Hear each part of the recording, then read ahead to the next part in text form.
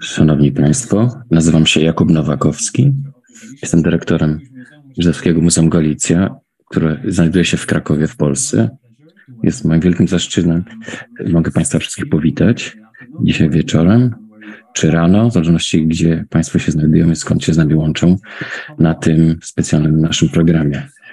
Zanim przedstawię naszych partnerów, głównego mówcę dzisiejszego wieczoru, pozwolę sobie powiedzieć kilka rzeczy o, o, o, technicznych sprawach. Po pierwsze, e, nasz program jest nagrywany i będzie dostępny później. Będą Państwo mogli zobaczyć albo na, na albo przez Facebook, albo przez e, bezpośredni link. Będziemy też e, zbierać Państwa pytania. Jeśli mają Państwo jakieś pytania lub komentarze, proszę je wpisać w czacie.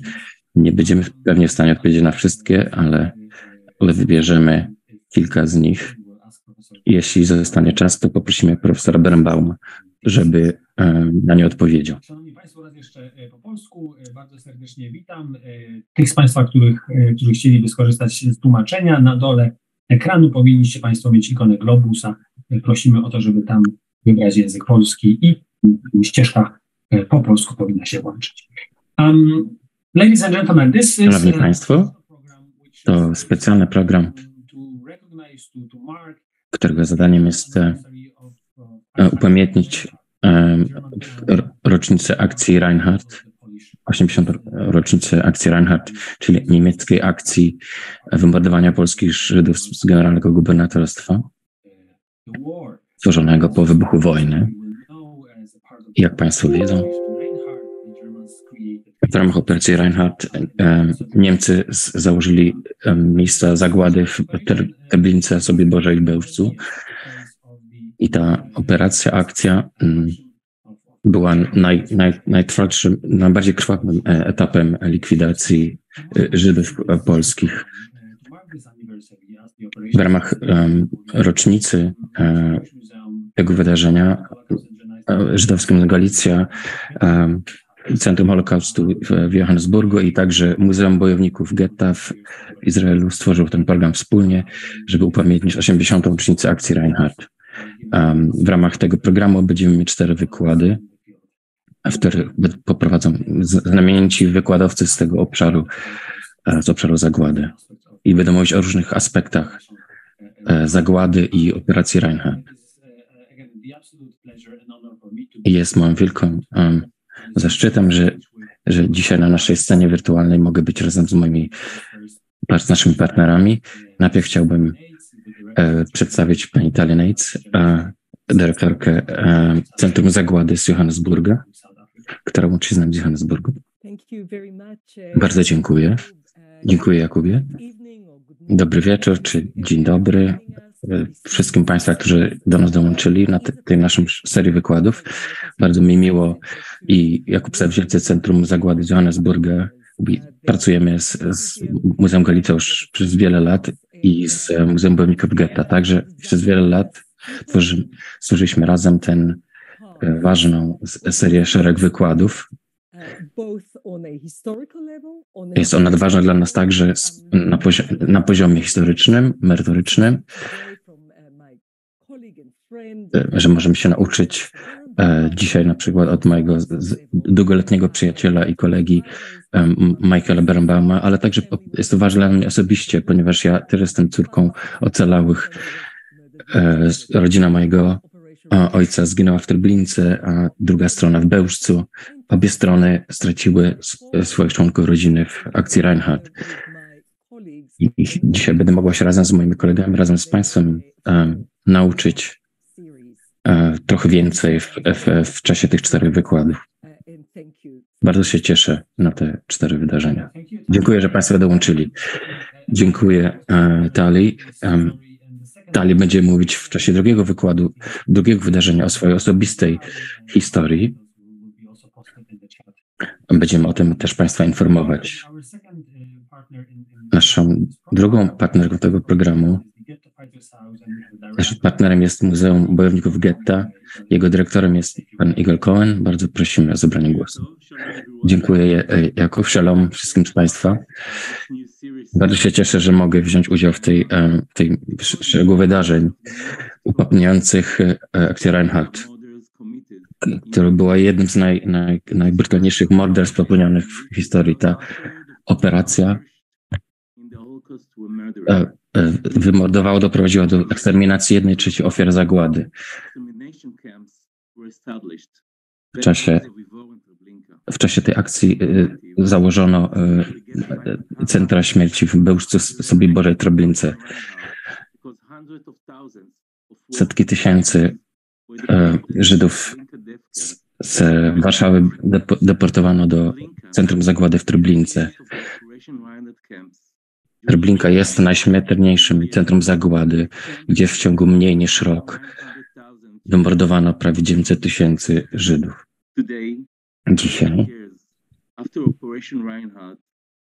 Dzisiaj, 80 lat po operacji Reinhardt, e, upamiętniamy wszystkich, którzy zginęli i straszne cierpienie, które ta akcja Reinhardt e, wyrządziła narodowi żydowskiemu. Uznajemy także Igal,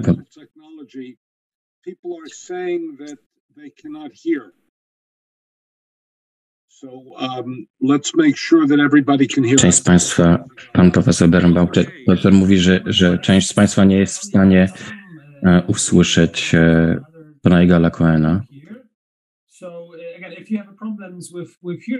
Jeśli jest jakiś problem, proszę, proszę us, ustawić dobrze języki w, w ikonie globusa. we will be trying to will be trying to solve that uh, case by case. Uh, but otherwise, we see that many many many people have no problems with with audio. So, okay, can I continue? Mogę kontynuować? Okay, I, I hope that everybody hear me. Mam nadzieję, że wszyscy Państwo mnie słyszą teraz. Dzisiaj, 80 lat po operacji Reinhardt, zbieramy się, żeby upamiętnić miliony, które zginęły i straszne cierpienie, które które mordercy wyrządzili e, ludowi żydowskiemu, narodowi żydowskiemu, a jednocześnie uznajemy i upamiętniamy akty bohaterstwa w czasie i, e, i po operacji Reinhardt. Naj, najbardziej większym wydarzeniem z tego rodzaju było powstanie w getcie warszawskim. E, I w, w, naszym Muzeum Bojowników Getta mamy model Treblinki zbudowany przez, e, e, przez rzeźbiarza Janika, który, jeden z niewielu, który ocalał z Treblinki, który, ten model jest e, oparty o rysunek, który on stworzył po wojnie. Dziękuję naszym partnerom e, e, Tali Nates z Johannesburga, Jakub, Jakubowi Nowakowskiemu z Muzeum Galicja i Median Shahar z Muzeum Bojowników Getta za to, że organizowali ten szereg, szereg wykładów, a szczególnie dziękuję naszemu głównemu mówcy dzisiaj, profesorowi Bernbaumowi. Jestem przekonany, że dziś cały program, cały ten szereg wydarzeń będzie świetnym um, okolicznością do nauczenia się i ulepszenia społeczeństwa dzisiaj. Bardzo dziękuję, Igal, za te wspaniałe słowa. Myślę, że czas teraz przedstawić naszego głównego prowadzącego dzisiaj, profesora Michaela Berenbauma, który jest jednym, prawdopodobnie jednym z najlepszych znawców na świecie, który mógłby e, powiedzieć nam, wypowiedzieć się na temat tego wykładu. Jest jednym z, z głównych ekspertów do, w temacie zagłady. Był był e, zastępcą, dyrektorem prezydenckiej komisji zagłady, był e, dyrektorem projektu e, w Muzeum, za, Muzeum e, Zagłady w Waszyngtonie i także jego Instytutu Badawczego. E, jeśli będą Państwo odwiedzać różne um, E, Muzea Zagłady w, w, Stanach Zjednoczonych i na świecie, to znajdą Państwo nazwisko profesora Berenbauma na wielu e, w, mm, zarządach tych muzeów. Jest także autorem wielu publikacji, jest też rabinem i twórcą filmów dokumentalnych. Moglibyśmy spędzić znacznie więcej czasu przedstawiając profesora Berenbauma, ale może lepiej będzie przekazać mu mikrofon. Bardzo dziękuję, że pan profesor do nas dołączył. Dziękuję. Ma to wielki zaszczyt, że możemy pana dzisiaj gościć. Bardzo dziękuję. Jednym z, jednym z naj, najszlachetniejszych tytułów, który mogę wobec siebie użyć, to jestem przyjacielem Jakuba, przyjacielem Tali.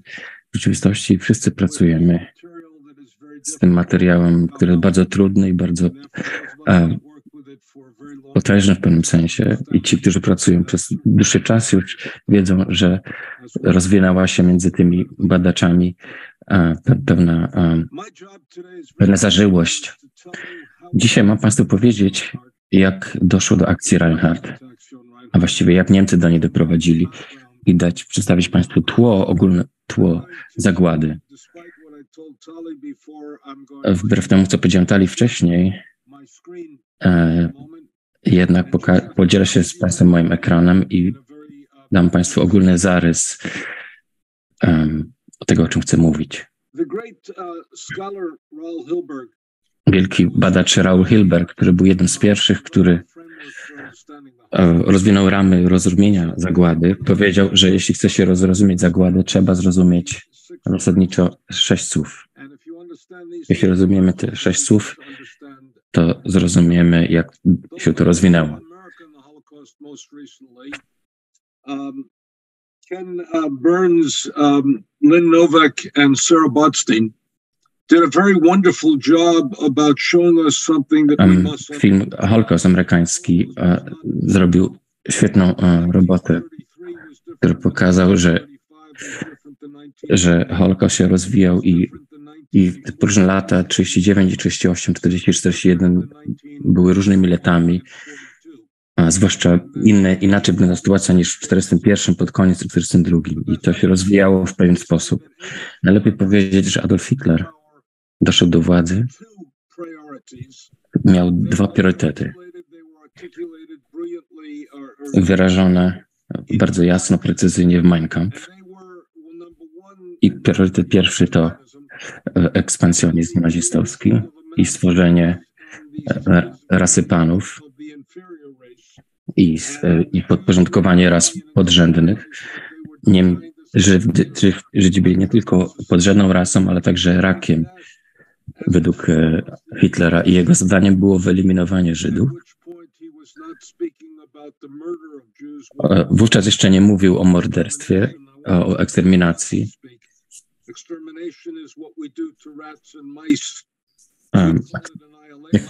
Ekstermi ek nazistowcy uważali to za eksterminację, ale właściwie chodziło o wyniszczenie. Eksterminacja może być bardziej w przypadku szczurów i myszy. Chodziło zasadniczo o wyeliminowanie Żydów z, z, Niemiec i z niemieckiej przestrzeni. Problem z tą, tym podwójnym programem, agendą jest, że że doszło do, do konfliktu w głównym punkcie tych ich działań. Doszedłszy do władzy, kiedy, kiedy Hitler doszedł do władzy i, i to, to, to, ten termin właściwie znaczy co innego w różnych częściach świata. Wszyscy, którzy się zajmują zagładą,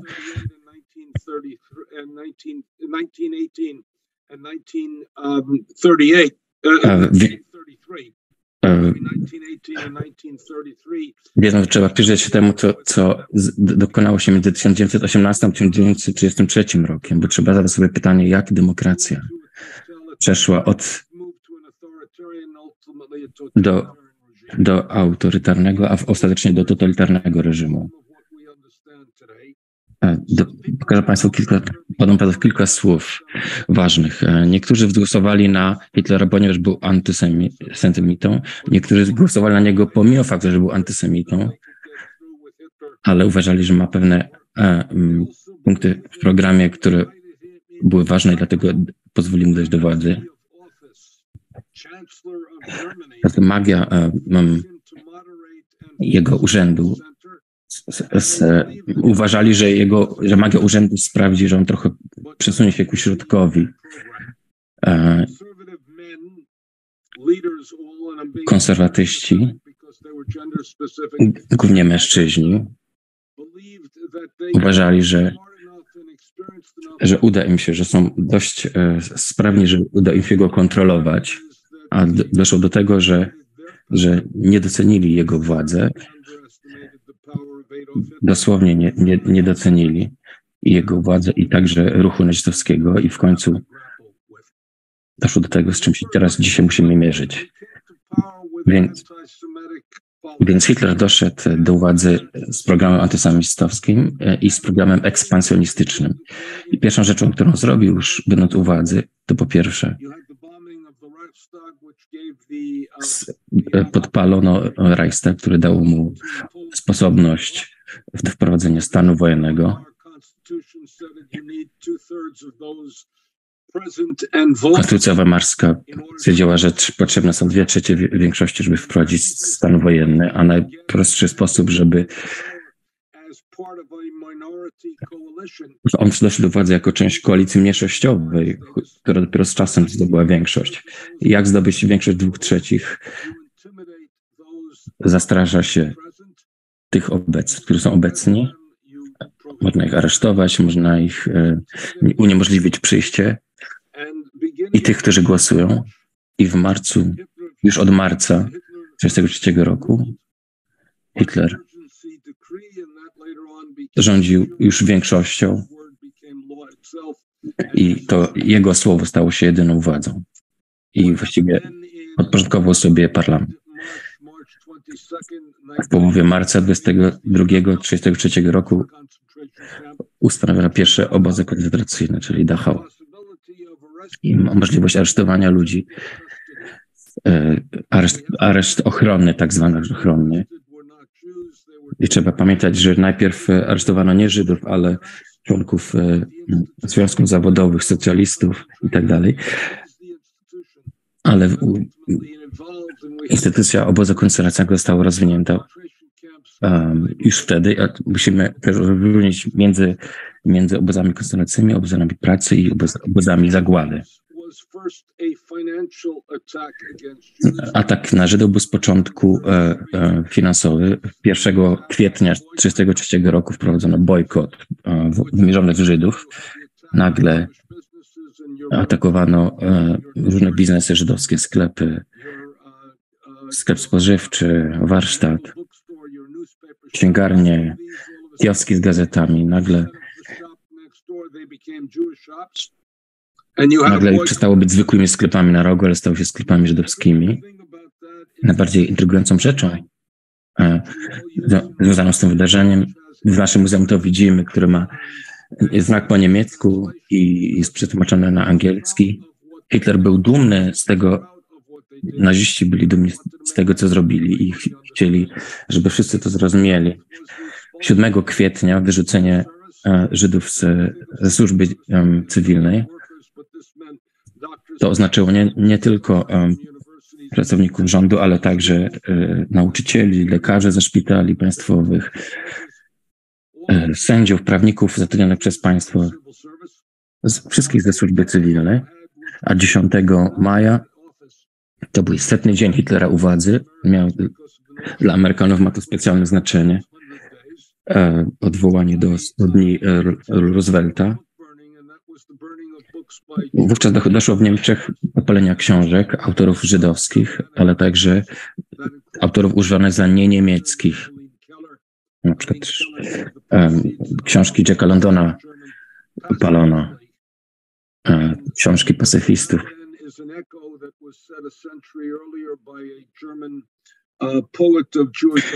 To od, odzwierciedlał trochę to, co w XIX wieku Heinrich Heine napisał, że ludzie, którzy będą palić książki, na końcu będą palić ludzi. A dystans między paleniem książek a paleniem ludzi wyniósł tylko 8 lat. Palenie książek było próbą usunięcia żydowskich autorów i nie niemieckich autorów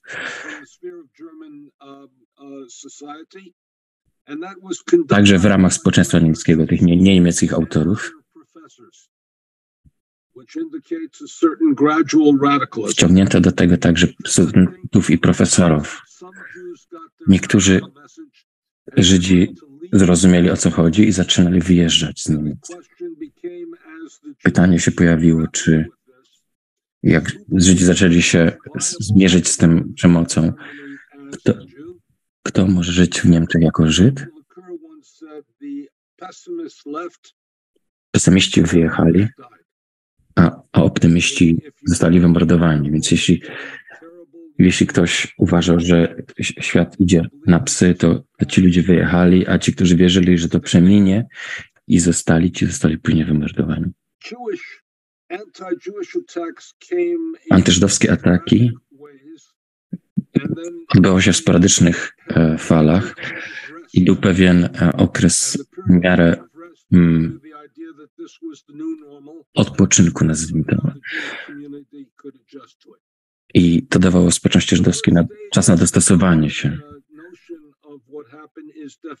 Pierwszym, pierwszym etapem w, w, w, w opisie Hilberga, jak doszło do zagłady, jest zdefiniowanie Żydów. Trzeba i antysemici musieli ustanowić, kto jest Żydem. I to był pierwszy etap zagłady. W 1935 roku e, ustawy norymberskie ustanawiają, że Żydem jest ten, kto miał e, żydowskich dziadków, którzy byli, byli e, e, wierzącymi Żydami, dziadkowie. Definiowano nie poczucie przynależności, nie poczucie, ale tylko przez, przez krew, przez pochodzenie krwi. To oznaczało, że Żydzi nie mogą uciec, ponieważ ponieważ jeśli by prześladowanie byłoby religijne, można by było dokonać konwersji. Jeśli to by było polityczne, można by było wyjechać. Jeśli by było społeczne, można by było się oddzielić jakoś. Jeśli by było ekonomiczne, można by się było dostosować. A jeśli definiowano według krwi, to, to nie dawało ucieczki. Także wprowadzono e, prawo dotyczące obywatelstwa. Dzisiaj widzimy to bardzo dokładnie, głęboko znaczenie tego prawa. E, dzisiaj widzimy głęboko przywileje i prawa obywatelstwa, bo nad nami stoi państwo, które nas będzie chronić, a, a ci Żydzi, którzy nagle przestali być obywatelami, byli bezpaństwowcami, zobaczyli, jak e, delikatne są prawa człowieka, jeśli nie ma na, nad nimi państwa, które by nas chroniło. Drugim etapem do Hilberga było, było wywłaszczenie, wyrzucenie Żydów ze sfery ekonomicznej Niemiec. Musimy na to patrzeć w historii żydowskiej nie tylko jako wywłaszczenie. Chodziło nie tylko o, o, profi, o zysk e, dla państwa niemieckiego, ale, ale pozbawienie praw znowu. Przez, w ramach emancypacji Żydzi zyskiwali prawa, a nagle teraz im te prawa zostają odebrane. Już nie są obywatelami, a tylko podwładnymi państwa. Zaczyna się wprowadzać segregację, apartheid, prawną dyskryminację na wiele sposobów. I chodzi, chodzi im o to, że jeśli utrudni się Żydom życie, to oni e, dobrowolnie wyjadą. Był tylko jeden wielki problem z tą strategią. I drugi problem, który troszeczkę się później pojawił i chodziło mianowicie o to, że, że nie było dokąd wyjechać, bo nikt, żaden inny kraj nie chciał ich przyjąć w takich liczbach, w jakich by Żydzi chcieli z Niemiec wyjechać.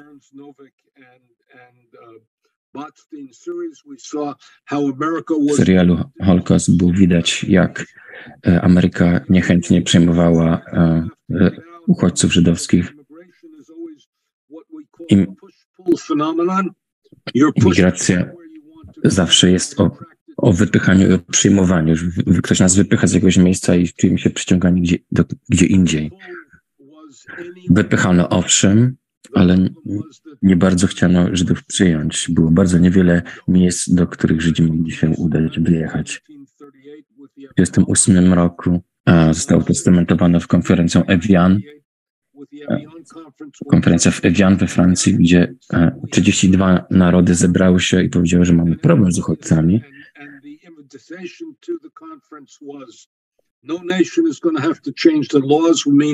Żaden, żaden kraj nie chciał zmienić swoich praw, zmienić kwoty, które przyjmowali imigracji.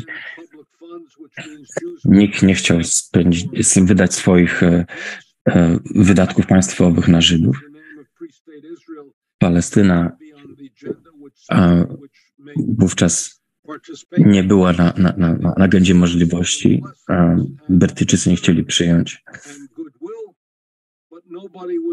Była dobra wola, ale nikt w praktyce nie chciał przyjąć Żydów. W konsekwencji ta strategia rozwi rozwinęła drugi problem znacznie później. Chodzi o to, że jak roz, z rozrostem III Rzeszy coraz więcej Żydów znajdowało się pod ich kontrolą i w 1938 roku, gdy Niemcy weszły do Austrii,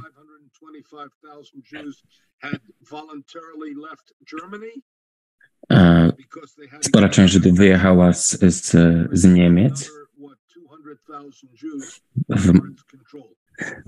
Kiedy weszli do Austrii, doszło kolejne 200 tysięcy Żydów austriaków. Gdy Niemcy weszli do Czechosłowacji, najpierw z Dettenlat jesienią 1938 roku, a potem w marcu 1939 roku. Jeszcze więcej Żydów pojawiło się pod niemiecką kontrolą i do czasu wy, wybuchu wojny w 1939 roku z, z Polską wraz z inwazją na Polskę do, do czasu e, wraz z inwazją na Polskę na, doszło kolejne dwa miliony Żydów. Muszą się pamiętać, muszą Państwo pamiętać, że Polska została podzielona między okupację niemiecką i sowiecką.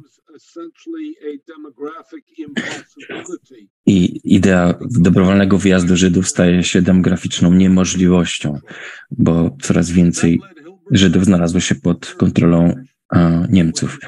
I tu dochodzimy do trzeciego elementu Hilberga. Chodzi o koncentrację, ale nie chodzi tu o, o obozy koncentracyjne, tylko o getoizację, o getta w okupowanej Polsce. Chodzi o to, że e, skupia się Żydów razem i czeka się po prostu.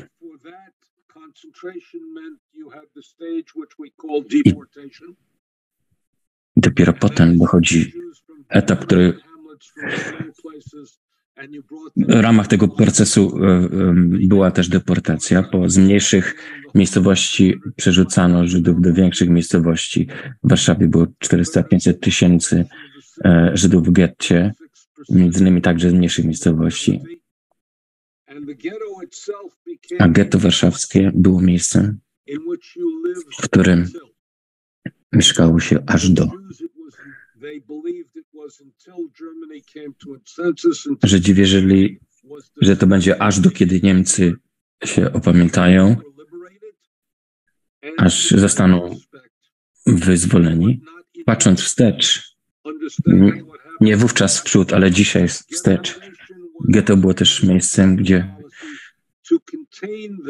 było miejscem, w którym Niemcy e,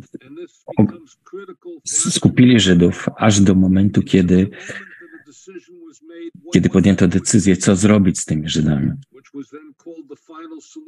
Co wówczas zostało nazwane ostatecznym rozwiązaniem problemu żydowskiego. I wówczas podjęto decyzję o wyniszczeniu, wymordowaniu.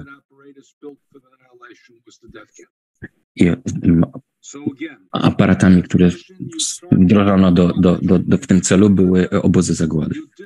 Więc definiujemy, pozbawiamy ich Żydów praw, wywłaszczamy, doprowadzimy do ich zubożenia, pozbawiamy praw, a pod koniec koncentrujemy ich, gromadzimy ich. Przez chwilę chciałbym powiedzieć teraz o żydowskiej reakcji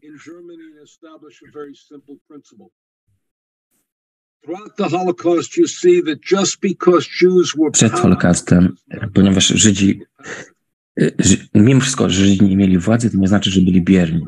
Próbowali, podejmowali różnego rodzaju sposoby,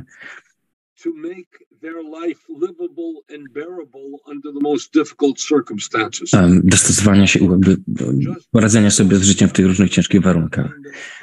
Owszem, nie mieli władzy, ale wcale nie znaczy, że byli bierni. Jeśli będę miał czas, żeby mówić o różnych etapach oporu,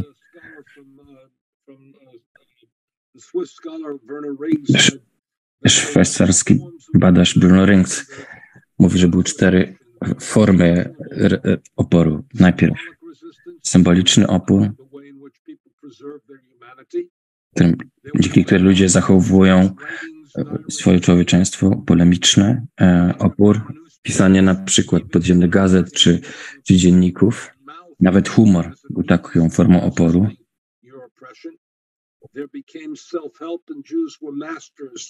Też samopomoc. Żydzi byli mistrzami samopomocy, stworzyli różnego rodzaju, były różnego rodzaju sposoby, którymi e, radzili sobie. E, I ostateczną formą był oczywiście zbrojna, zbrojny opór. Niemcy mają problem, mają ogromną liczbę Żydów, e, które próbuje, próbują opanować. Tylko na zachodzie, tylko w Amsterdamie była, była żydowska dzielnica mieszkaniowa. Większość e, nosiła żółte gwiazdy. W Polsce w, w GG noszono białe opaski. Nie wiedzieli Niemcy, jak wyglądają, e, jak Żydzi wyglądają, jak poznać Żyda inaczej niż na przykład w Ameryce, gdzie można było, czy w Azji e, ludzie są, mogą wyglądać inaczej według koloru skóry. W, w, w okupowanej Polsce nie było takiej możliwości, więc, więc stosowano te rozróżnienia jak opas.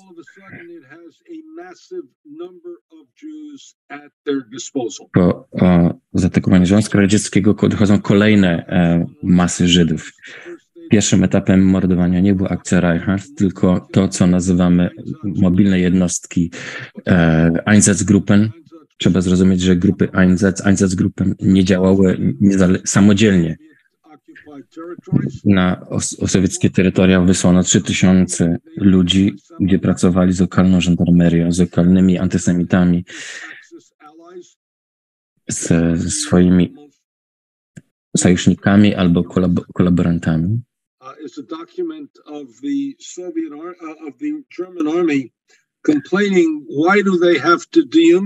Mamy taki dokument, gdzie why do they have to dehumanize the Jews if they're going to kill them anyhow? Kiedy żołnierze skarżą się, dlaczego musimy najpierw Żydów dehumanizować, a nie może ich po prostu ich zabić, skoro i tak mamy ich zabić.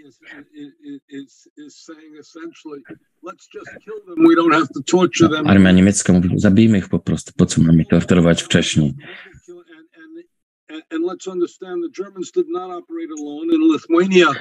Trzeba pamiętać, że Niemcy nie działali e, sam, samodzielnie. W, w, Litwie spora część Żydów została zabita przez, przez Litwinów. W, w Łotwie też, na Łotwie też bardzo znaczna część Żydów została zabita przez, przez e, Łotyszy, podobnie w, w Estonii. Co to znaczy? Za, zabierano Żydów do, na obrzeża miast, do lasu, do wąwozów i zabijano wioskę po wiosce, kula po kuli. Mężczyzn, kobiety i dzieci. Najbardziej znanym przypadkiem jest Babi Jar, gdzie,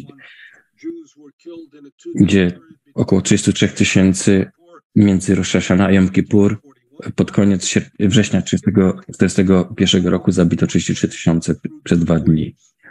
I to się rozwija nie tylko w jednej fali, ale przez dwie fale jakby y, mordów masowych.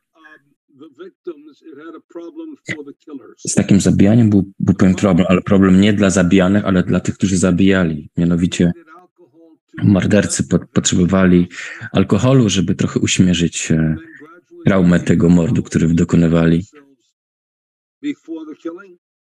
Potrzebowali alkoholu przed mordami i także w trakcie wykonywania mordów. A drugi problem e, był taki, że takie mordy masowe były zbyt publiczne. Zbyt wiele ludzi było świadkami, widziało. Były też przypadki załamania. O?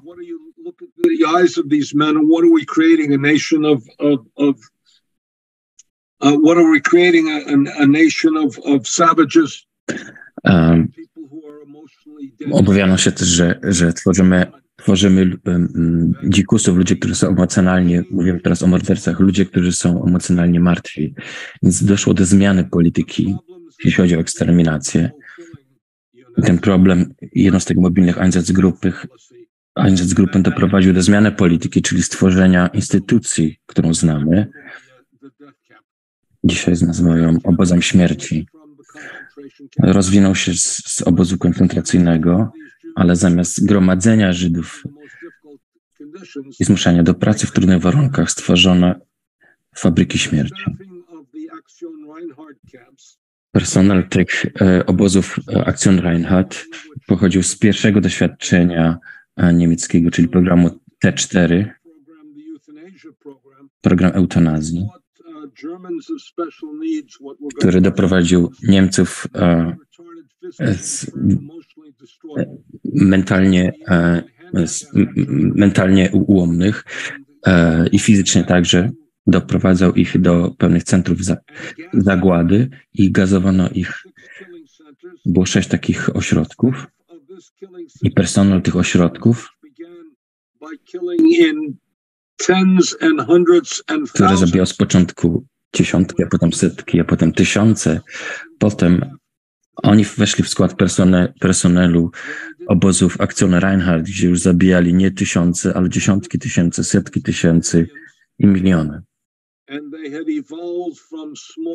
W pewnym sensie rozwinęli się od małej skali do, do dużej skali morderstwa. Porozmawiajmy teraz trochę o mm, pochodzeniu początku obozu śmierci. Decyzja tworzenia obozu śmierci podjęto ją gdzieś w okolicach e, października, listopada 1941 roku. To stało się teraz trochę kontrowersyjne, ponieważ Premier, e, premier Izraela Netanyahu stwierdził, że, że Hitler swoją inspirację do tego zyskał od spotkania z mufti Jerozolimy. Stąd e, właśnie czerpał inspirację do gazowania Żydów. Ale wiemy, że do początku listopada podjęto decyzję, że Żydzi 41 roku, 41 roku, nie, Żydzi nie mogli już wyjeżdżać z okupowanych przez Niemców terytoriów i z, i z Niemiec bo już byli przeznaczeni do wyniszczenia. Pierwszym obozem, który otwar otwarto, był obóz w Chełmie nad Nerem, na zachód od Łodzi, w obszarze inkorporowanym do III Rzeszy.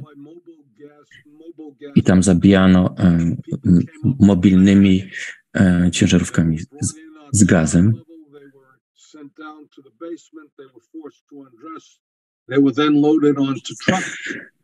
E, kazano się rozbierać w piwnicy, potem pakowano ich na ciężarówki. Ciężarówki jeździły przez 20-30 minut. E, rura wydechowa przez szlauch była podawana, podawała gaz do środka i po około 20-25 minutach, kiedy ciężarówka jeździła w koło,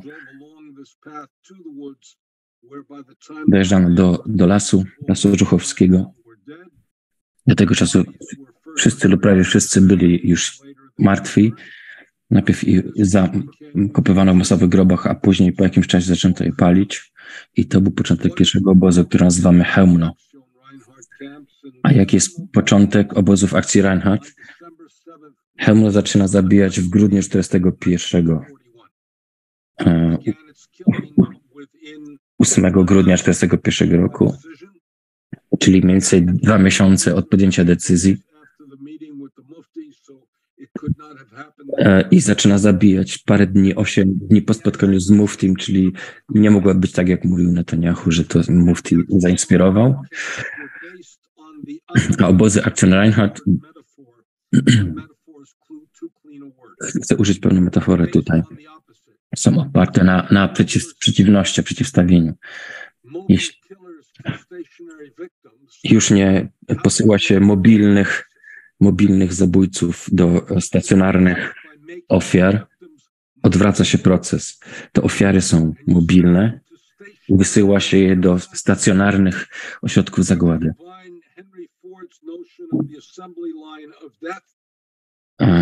Do, do tego swego rodzaju e, taśmy, w, jak w fabryce Henry'ego Forda. Tworzy się pewną fa fabrykę, którym produktem końcowym są martwi Żydzi. Dead Jews, but essentially it not only robs the Jews, but it even recycles them. I um, nie tylko do, dochodzi tam do, do, do rabunku Żydów z ich mienia, ale także do, do swojego recyklingu Żydów, ich, ich odzieży, ale także ich, ich, ich, e, ich zębów, ich włosów, ich ciała w swoistym procesie recyklingu. that gas chamber. e, odbywa się poprzez e, komorę gazową.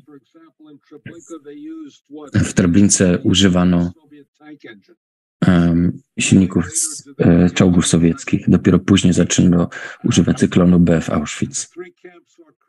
W trzech obozach, które stworzono, najpierw powstał Bełżec, potem Sobibor, a na końcu Treblinkę.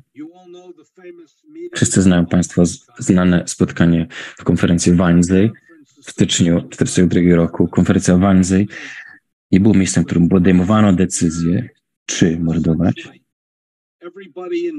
To było miejsce, gdzie wszyscy, którzy byli zaangażowani w decyzję, tam tylko postanowiono, że SS będzie e, odpowiedzialny za to i że proces będzie trwał bardzo bezpośrednio i szybko. Jak należy rozumieć znaczenie konferencji w Wannsee? Mamy e, protokół z konferencji w w Wannsee, po pierwsze, a po drugie jest jeszcze jedna ważna postać, którą tę postać uż, używam w każdym, w każdym muzeum.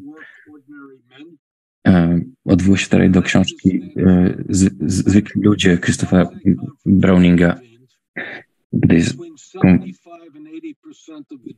konferencja w Wannsee e, zbierano 75-80% Żydów wciąż jeszcze żyła. 16 miesięcy później 75-80% Żydów zostało już zamordowanych. Dlaczego konferencja w Wannsee- w Wannsee jest taka ważna? Bo ona zebrała całą biurokrację państwa niemieckiego, armię, e, koleje, wszystkie ważne ministerstwa i aparat partyjny.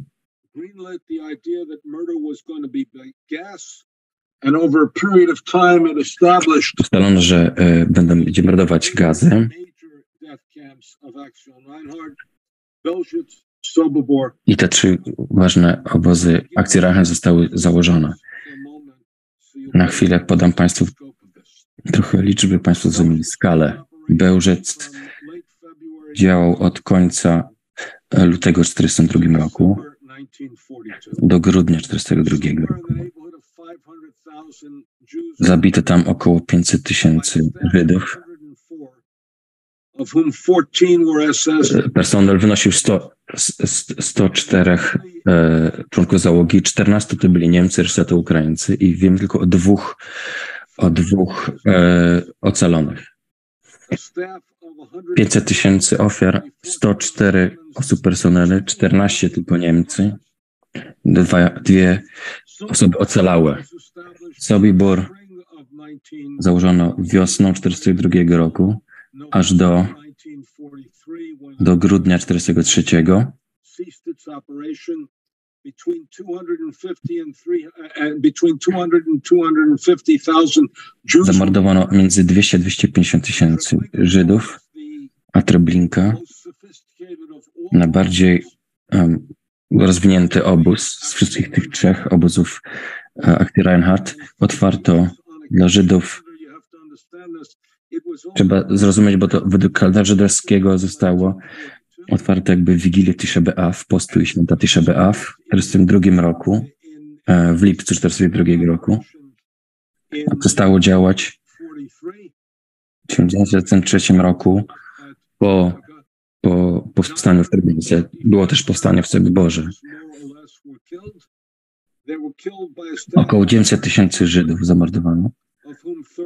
Personel 120 osób. 20 osób to byli Niemcy. Więc jeśli mówimy o skuteczności, efektywności,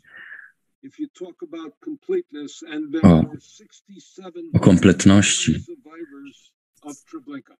jest 67 znanych ocalałych z, z Treblinki. Nie, nie wszyscy są znani, niektórzy uciekli. There was 67, 925,000 killed. A staff of 67 ocalało, 925 tysięcy ofiar, 120 osób personelu. and Belzec were responsible for the murder of 1.4 million. Czyli 225 osób było odpowiedzialne w Bełżcu i w Treblince za prawie półtora miliona ofiar. Zero, zero, zero,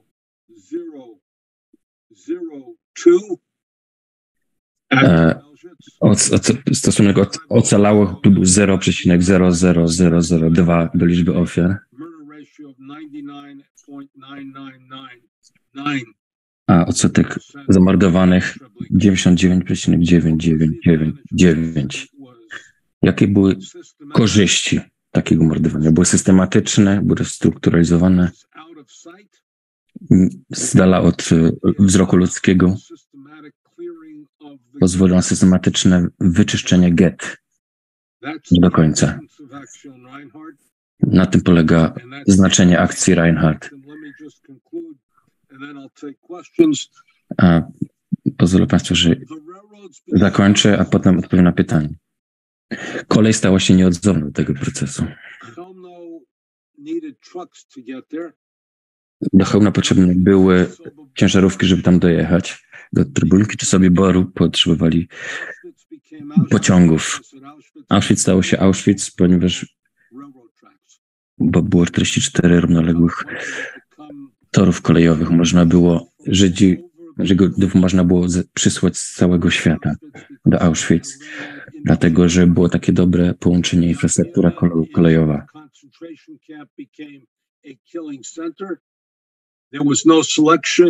Obóz koncentracyjny stał się oborem zagłady. W, w, w Treblince, w Sowiborze Boże nie było żadnej selekcji. Wszystkich wysyłano od razu na śmierć. Były bardzo niewiele, wiele, e, niewiele wyjątków. Zachowano tylko tych, którzy pozwolili e, utrzymać proces mordowania, czyli, czyli e,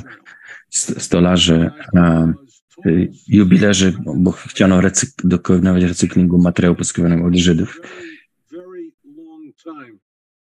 Zajęło bardzo długi czasu nam zrozumienie, co, co właściwie stało się w tych obozach, co tam, do czego tam dochodziło. I, dla, I dlatego tak długo zro, potrzebowaliśmy zrozumieć, bo było tak bardzo niewielu ocalałych. A teraz odpowiedzmy na parę pytań. Bardzo dziękuję. Bardzo dziękuję, Michael. Mm, Bardzo interesujące i prowokujące do myślenia poruszająca wypowiedź.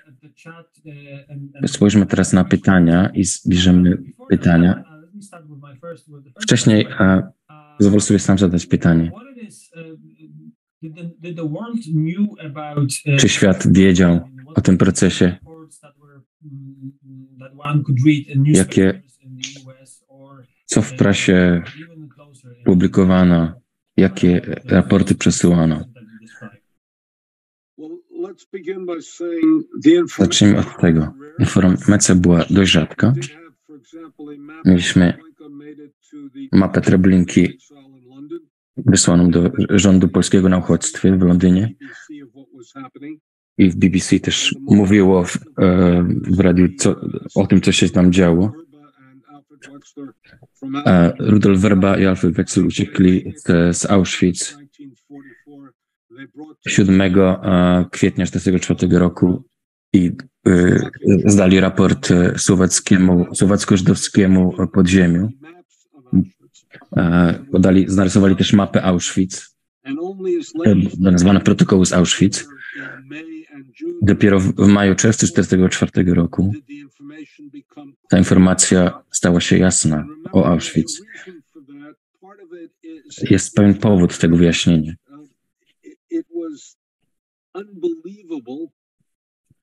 Wydawało się niewiarygodne. Pamiętajmy, że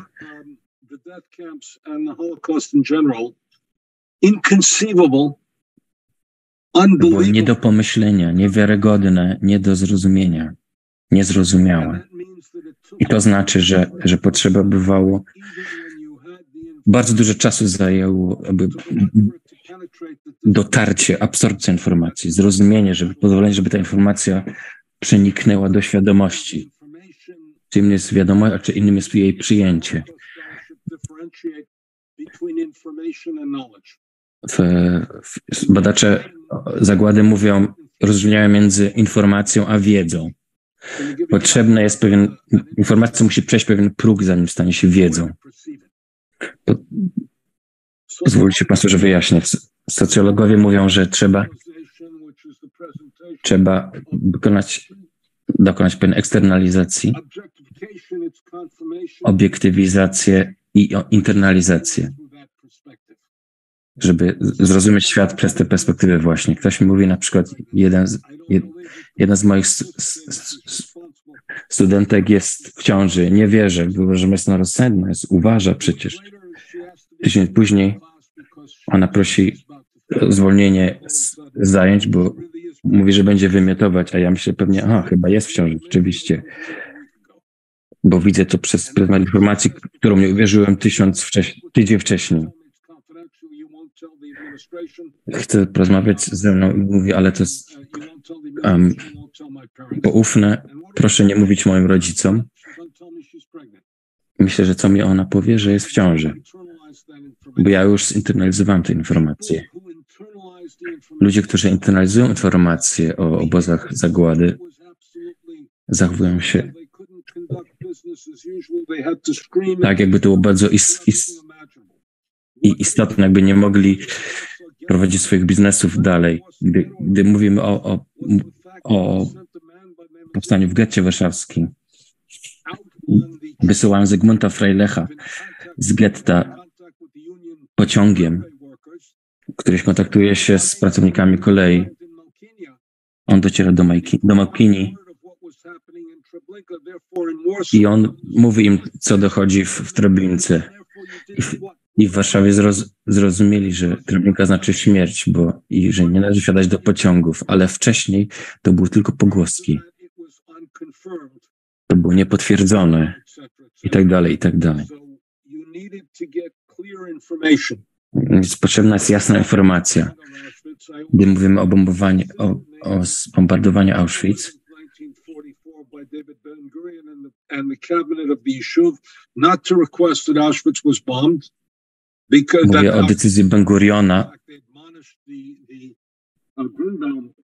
They admonished him for even speaking to the Americans about bombing Auschwitz, saying we do not know enough about the situation in Poland. Twierdzili, że nie, wie, nie mają dość informacji o, o, o sytuacji w Polsce, że, że, że nie możemy ryzykować i zabić e, niewinnych e,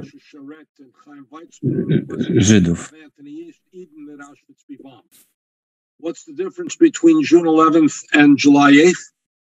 The difference is they got the verbal Wexler report and they understood that Jews między, między 11 czerwca a 8 lipca a, mieli już więcej informacji, zrozumieli, że jeśli zniszczą infra, infrastrukturę, to, to zniszczą też możliwość mordowania ze strony Niemców. Only only few as we, as we won't have that much time. Um, one of the question is um, Jedno z pytań, które wybiorę, mówił, powiedział pan, że, że sobie Treblinka zamknięto je po, po, po rewoltach. Dlaczego tam były rewolty, powstania? Dlaczego w tych miejscach były bunty, a w innych nie było? Why were there look the, the revolts the interesting thing is the revolt at Treblinka took Ciekawe, bunt w Treblince doszło do niego po powstaniu w getcie warszawskim. Zrozumieli powstanie, co doszło w powstanie w getcie. Meaning that they had already achieved Why did Belzec close? Belzec closed because the Jews of Galicia. Bo teraz nie było transportu. Dlaczego zamknięto o, mm, Bełżec? Bo, bo, bo zabito wszystkich Żydów z Galicji, nie było już więcej pociągów do wysłania do Bełżca, nie było już więcej populacji żydowskiej, więc w pewnym sensie interes zwolnił. Więc gdy ten interes zaczął zwalniać, e, Żydzi w tych obozach te zaczęli, e, ci, którzy tam pracowali, zrozumieli, że ich sytuacja jest zagrożona. Byli wśród nich, sobie Boże, Żydzi, którzy byli sowieckimi Żydami, którzy mieli wykształcenie wojskowe i zorganizowali opór i bunt w sobie Boże. I to dało ludziom okazję do ucieczki. Ale dlaczego? Bo zrozumieli, że, że wkrótce umrą.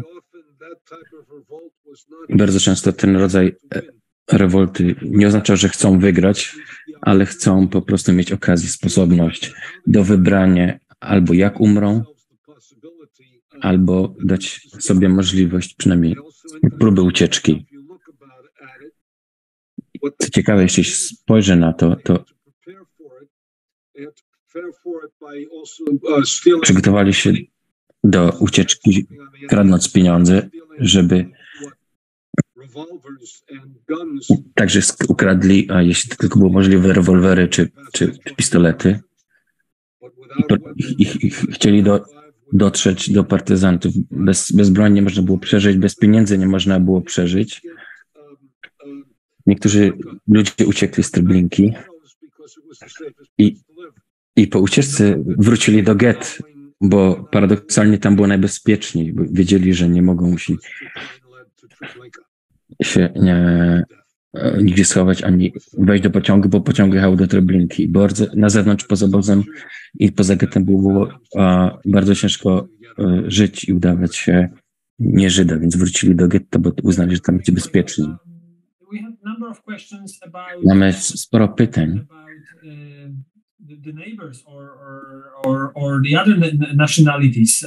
O sąsiadów i innych, e, inne narodowości Słowaków, Polaków, Węgrów, czy te e, społeczeństwa czy, nie też zabijały Żydów?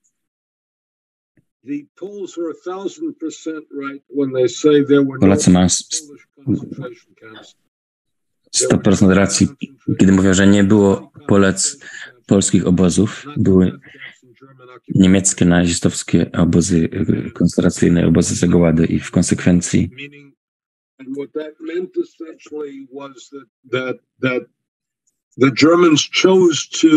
Niemcy wybrali, że założą obozy poza wzrokiem niemieckiej populacji.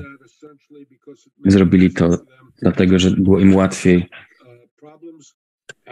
radzić sobie z problemami w domu. Was to serve as the VIP quotation marks concentration camp, etc., etc.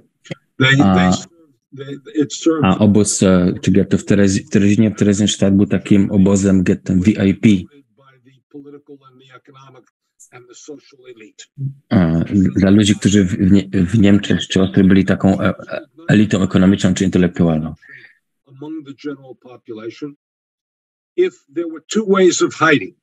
Były dwa sposoby, na które można się było ukryć. Albo udawać nie Żyda, łatwiejsze dla kobiet niż dla mężczyzn. Po pierwsze, kobiety nie były obrzezane, a, a dwa, kobiety religijne często, e, często chodziły wcześniej do szkół świeckich, a, mę, a mężczyźni religijni chodzili do szkół religijnych, więc kobiety mówiły lepiej, religijne kobiety lepiej mówiły po polsku czy w danym lokalnym języku. Ważne też było, jak się wygląda i jak się ludzie zachowują. Klatka Mit na przykład z getta warszawskiego, która działała poza gettem, zdobywała pistolety i amunicję dla Żydów do getta. Klatka Mit mówiła,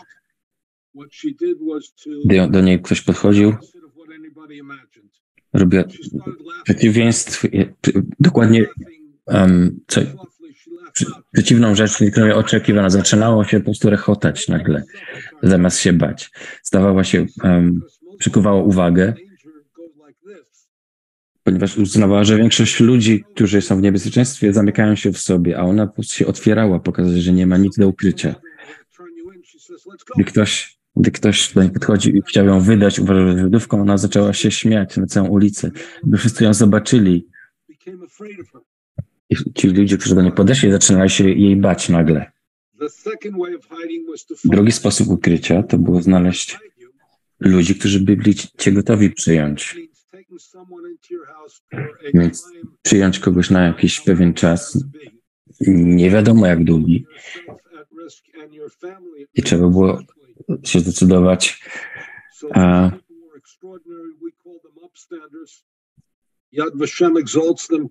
oddać jakby w, w, w opiekę ludzi, o których często niewiele wiedzieliśmy.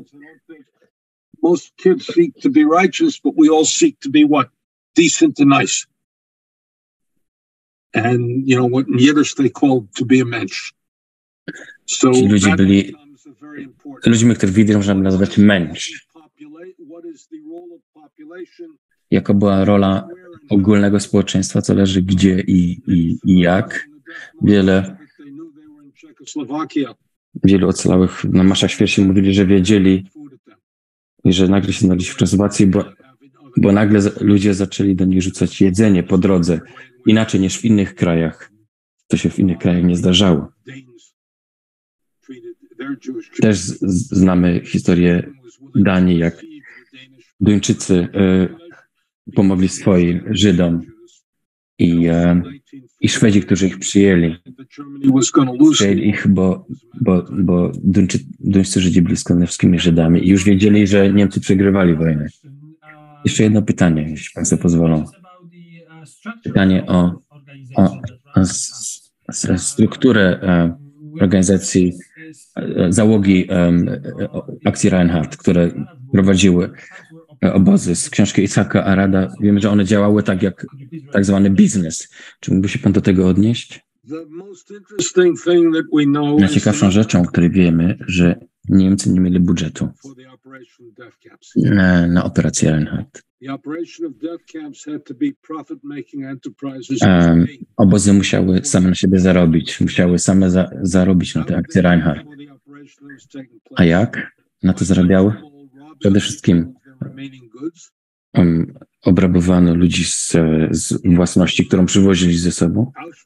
W Auschwitz Dokonywano też recyklingu ludzkich ciał, wyrwano złote zęby na przykład. Wysyłano do, do Rzeszy, a ona dalej do, do, do Szwajcarii. E, Ścinano włosy, w, w, z nich robiono em, po, m, m, podszewki. W, w Auschwitz mieli też tak zwaną Kanadę, gdzie zbierano wszystkie materiały, które ludzie przywiezieni do obozu przywozili ze sobą. Co się bierze, jak się bierze z domu? Bierze się podstawowe elementy potrzeby do przeżycia. Bierze się najbardziej wartościowe przedmioty, jakie mamy. Ciekawy film, który wkrótce wyjdzie. W Auschwitz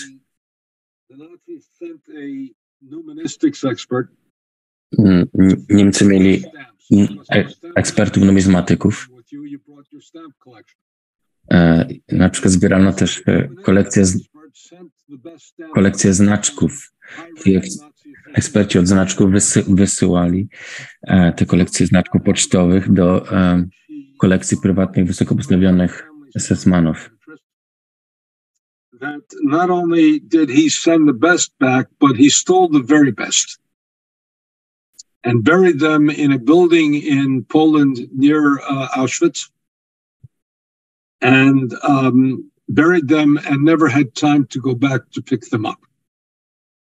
Jest też taka plotka, mówi o tym, że, że e, o, o, o, o, o, ludziach, którzy zakopali w, w, w okolicy Auschwitz swoje wartościowe rzeczy i bardzo wielu ludzi potem próbowało wykopować te, te, te rzeczy w Auschwitz.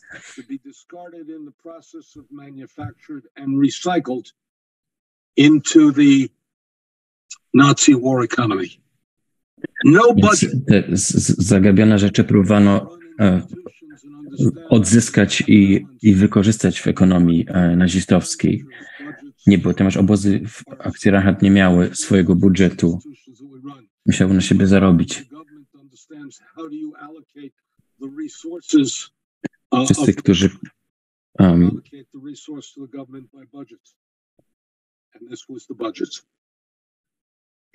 wszyscy, którzy, którzy, którzy rządzą, są ministrami w rządzie, wiedzą, że, że rząd musi mieć budżet i de facto te recy- recyklowane e, posiadłości Żydów były budżetem tego obozu. Najważniejsza rzecz w każdym razie to jest organizacja, struktura. Struktura zła w tym przypadku, która się, się tu rozwinęła. A druga ważna rzecz o obozach akcji Reinhardt. Think of their efficiency. Pomyślmy o ich skuteczności. 500,000 Jews, less than 10 months. 500 tysięcy, mniej niż 10 miesięcy, dwóch znanych ocalałych obozów. 925,000 Jews, more or less. Mniej więcej 925 tysięcy, w Treblince 14 miesięcy, 67 znanych ocalałych. Struktura zła. Niewiarygodne ogrom tego, co udało się osiągnąć Niemcom. Minimalne zasoby, maksymalne osiągnięcia, całkowite unicestwienie. To sprawia, że zagłada była tak jest rzeczą katastroficznie fascynującą, że jest, jest założona na pewnych zasadach, zasadach kluczowych dla założenia cywilizacji Zachodu. Maksymalna skuteczność, skuteczność, użyteczna struktura, w tym przypadku do unicestwienia. Thank you, Professor, for, for uh, dziękuję bardzo, panie profesorze, za odpowiedzi na to pytanie. Um, I za pana wykład. Dziękuję wszystkim państwa wszystkich e, zakątków świata. Mieliśmy prawie, prawie 900 osób zarejestrowanych. Linki z nagraniem zostaną wysłane do wszystkich, którzy e, się zarejestrowali. To nagranie zostanie też, będzie też dostępne przez e, Muzeum Żydowskie Galicy. Proszę pamiętać, że to tylko pierwszy z wydarzeń w serii czterech. Już dziś chciałbym Państwa zaprosić na, na 7 grudnia na drugi wykład Masowe mordy w 42 i w 43 mordy w obozach zagłady.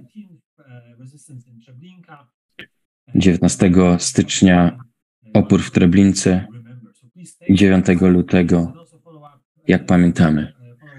Proszę z nami zostać w kontakcie.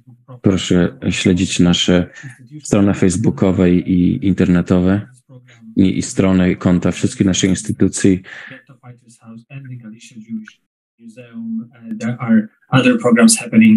Uh, um. Proszę też śledzić nasze inne programy, oprócz, oprócz, oprócz tego także organiz, organizujemy innymi spotkanie z Ombarem Bartowem wkrótce na początku e, grudnia.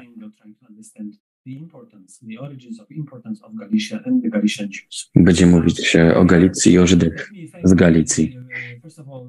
Jeszcze raz bardzo dziękuję profesorowi Birnbaumowi. Bardzo dziękuję za, za, za ten wykład. Był wielki zaszczyt e, móc Pana gościć. Do zobaczenia w przyszłym roku w Jerozolimie i w Krakowie. Następnym roku dla mnie się zobaczy zobaczymy się w Krakowie. Dziękuję. Dobranoc.